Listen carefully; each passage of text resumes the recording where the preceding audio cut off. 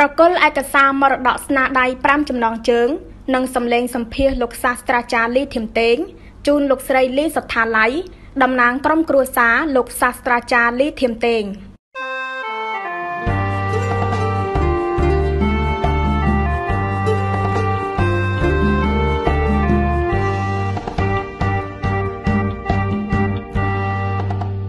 នាវេលារសៀលថ្ងៃទី17ខែសីហាឆ្នាំ2024នៅទីស្នាក់ការក្រុមដំណើរខ្មែរក្នុងរាជធានីភ្នំពេញ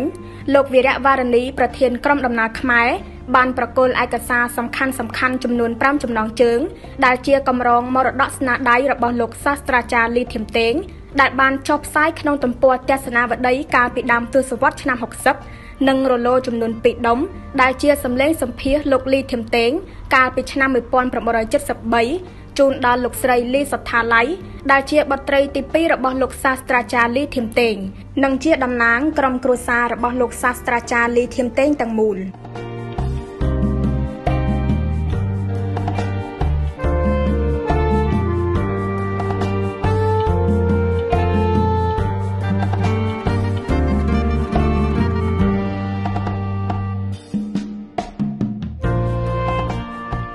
ឯកសារមរតកស្នាដៃលោកសាស្ត្រាចារ្យលីធៀមតេងចំនួន5ចំណងជើងរួមមាន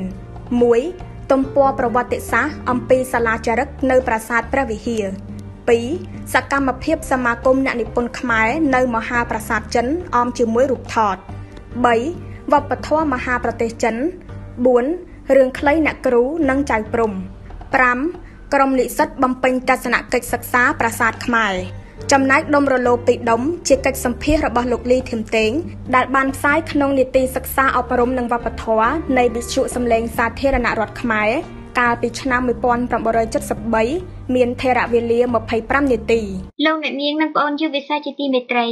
នៅល្ងាចនេះនីតិសិក្សាអប់រំនិងវប្បធម៌សូមលើកយកប្រសាសន៍លោកលីធៀមតេងអគ្គលេខាធិការនៃសមាគមអ្នកនិពន្ធខ្មែរស្ដីអំពីជីវប្រវត្តិលោកក្រមងុយមកផ្សាយជូនស្ដាប់ដូចតទៅនេះ។ ក្រោយពីយើងបានឃើញជាផ្លូវអ្នកនិពន្ធខ្មែរពីរងងុយមកនិងបានឃើញនៅក្នុងទស្សនវិស័យកម្ពុជានូវូបានយកទៅបកប្រែជាភាសាបារាំងទៀតយើងក៏ពាក់អារម្មណ៍ខ្លាំងចំពោះស្នាដៃនេះដូច្នេះសូមលោកបញ្ជាក់បន្តិចតើលោកចាប់អារម្មណ៍យ៉ាងណាដែរដែលនាំលោកឲ្យខំស្រាវជ្រាវរកជីវប្រវត្តិអ្នកនិពន្ធខ្មែរត្រឹមងុយនេះបាទ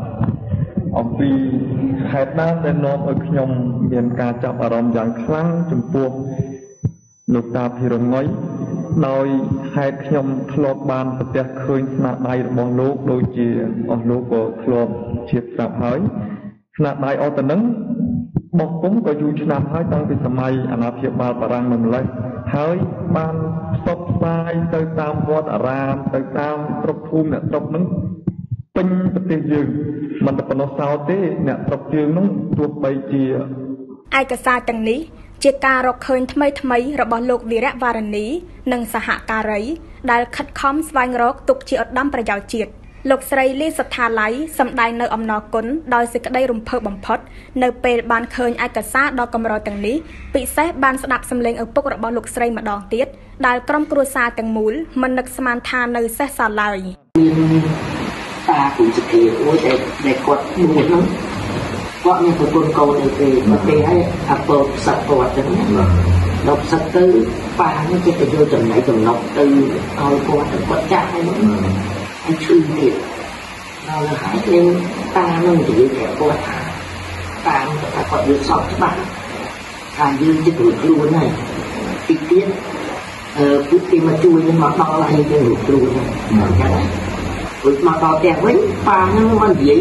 ប្រាប់ ម្ដាយក្មេងខ្ញុំហើយទៅវាលឺវាដើរតាមក្រុមទេវាលឺវាលឺវាយកទៅទាំងពីរទាំងម្ដាយក្មេងហ្នឹងទាំងគាត់ហ្នឹងហើយដល់ពេលទៅដល់គាត់អង្វរវាថាខ្ញុំអ្នកនិយាយទេគាត់អត់ដឹងអីគាត់ចេះតែស្ដាប់ទៅគាត់ដឹងអីឲ្យប្រឡែងទីក៏ប្រឡែងវាមកវិញនៅទៅគាត់ម្នាក់ហ្នឹងគាត់ថាចិនទៅវិញអឺហ្នឹងហើយនឹងស្លាប់ហ្នឹងដូចជាពេលពួកអាពតហ្នឹងរត់ ចិត្តចិត្តច្រើនទៅវិញស្រុកណានៅស្ទូនៅស្រុកស្ទូកំពង់ធំកំពង់ធំឃុំបន្ទាយស្ទូឃុំបន្ទាយនិយាយទៅដូចដូចពលិបបុរាណមកអត់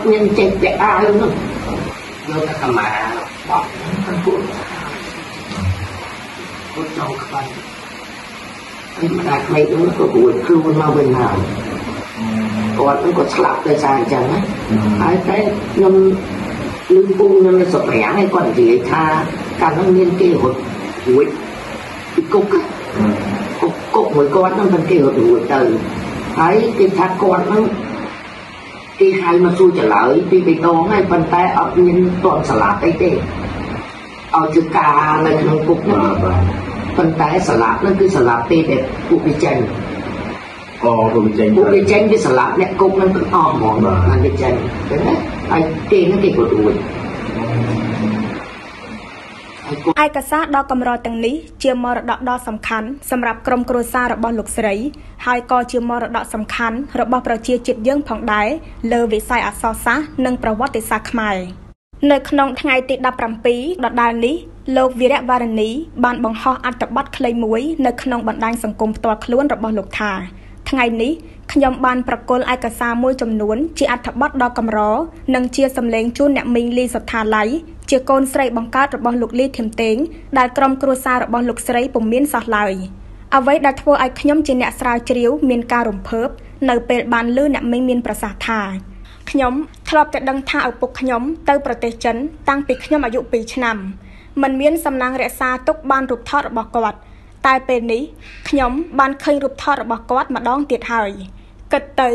ការស្រាវជ្រាវពិតជាត្រូវចំណាយពេលវេលា និងភាពអំណត់តស៊ូមែនហើយតែការស្រាវជ្រាវក៏ត្រូវពឹងលើជំនឿអរូបីគឺប្រេងវាសនា និងបនសំណាងផងដែរបើគ្មានប្រេងវាសនា និងបនសំណាងទេទោះបីជាឯកសារទាំងនោះ នៅចិត្តយើងក៏ដោយក៏យើងមិនអាចរកឃើញបានដែរបាទខ្ញុំជឿលើប្រេងវាសនានិងបនសំណាង ព្រោះថាកន្លងមក សម្រាប់ការស្រាវជ្រាវរបស់ខ្ញុំខ្ញុំចំណាយពេលវេលា ចំណាយការអំណត់តស៊ូក៏ខ្ញុំមានជំនឿនៅក្នុងខ្លួនដោយខ្ញុំតែងតែរំលឹកដល់វិញ្ញាណក្ខន្ធរបស់អស់លោកទាំងអស់ទាំងផ្នែកភាពយន្តទាំងផ្នែកចម្រៀងទាំងផ្នែកអ្នកនិពន្ធអ្នកអីទាំងអស់ហ្នឹងឲ្យឲ្យឲ្យជួយដូចថាតម្រែតម្រង់ហើយនឹងជួយអឺធ្វើយ៉ាងម៉េចឲ្យឯកសារស្នាដៃរបស់ពួកគាត់ឲ្យនៅសេសសល់ ឥឡូវយើងគិតមើលមើលឯកសារច្រើនណាស់បានបាត់បង់ទៅ ហើយមានឯកសារមួយចំនួន ដែលជាឯកសារសំខាន់សំខាន់ឬក៏ជាឯកសារដែលយើងចង់រកពីបុគ្គលណាម្នាក់ស្រាប់តែឯកសារទាំងនោះនៅសល់ដូចថា100ឯកសារបាត់អស់80សល់តែ20ហើយ20ហ្នឹងមានឯកសាររបស់ពួកគាត់ទៀតអញ្ចឹងជារឿងមួយដែលគេហៅថាព្រេងវាសនាឬបនសំណាង ឧទាហរណ៍ពេលដែលខ្ញុំទៅរកពីប្រវត្តិលោកលីធីនតេងខ្ញុំគិតនៅក្នុងចិត្តហើយបួងសួងថាបើសិនជាខ្ញុំមាននិស័យជាមួយលោកលីធីនតេងសូមឲ្យខ្ញុំរកឃើញឯកសាររបស់លោកហើយឈុតឆាប់ដូចបំណងមែនឧទាហរណ៍ខ្ញុំស្រាវជ្រាវរកប្រវត្តិរបស់លោកគង់សំអឿនឬក៏ស្នាដៃអីផ្សេងផ្សេងរបស់គាត់កន្លងមកខ្ញុំតែងតែគិតនៅក្នុងចិត្ត នឹងបួងសួងដូចដូចអញ្ចឹងដើម្បីធ្វើម៉េចឲ្យគាត់ជួយតម្រៃតម្រង់ហើយនឹងឲ្យមានវាសនា មាននិស័យមានមានបុណ្យបានឃើញឯកសារទាំងនោះយ៉ាងណាមិញមហាជនអ្នកសិក្សាមុខជាស្គាល់យ៉ាងច្បាស់នៅស្នាដៃមួយក្នុងចំណោមស្នាដៃជាច្រើនរបស់លោកគឺបកប្រែអត្ថបទប្រពៃណីអ្នកស្រុកចេនឡាពីភាសាចិនរបស់លោកជីវតាខ្វាន់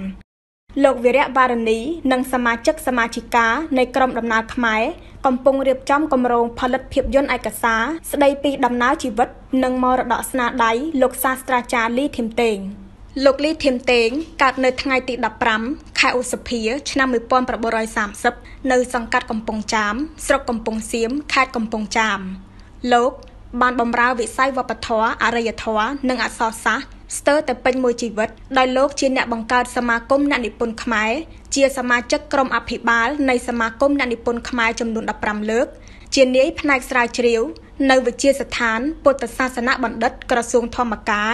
និងជាសមាជិកក្រុមជំនុំទំនៀមទម្លាប់ខ្មែរលោកក៏បានបន្សល់ទុកនៅស្នាដៃជាច្រើនលើអត្ថបទស្រាវជ្រាវ បកប្រែអត្ថបទប្រពៃណីអ្នកស្រុកចិនឡា ពីភាសាចិនរបស់លោកជីវតាខ្វាន់ប្រវត្តិនិងស្នាដៃកវីក្រមងុយពងសាវតាប្រទេសកម្ពុជានិងរឿងប្រឡោមលោកព្រមទាំងស្នាដៃចម្រៀងមួយចំនួនផងដែរបាទខ្ញុំដែលដែលចាប់បានគឺថាដូចជាការនៅក្នុងនៅក្នុងច្បាប់មួយដែលលោកដាក់ឈ្មោះថាលបើកថ្មីក្នុងច្បាប់លបើកថ្មីហ្នឹងក៏ផ្សេងជាបទកាកទេស មានពាក្យ4 4ហ្នឹងគឺថាមានន័យច្រើនណាហើយអ្នកផនគេយកទៅទូនមានណែកូនចៅតតទៅទៀតដូចជាពាក្យថាអឺ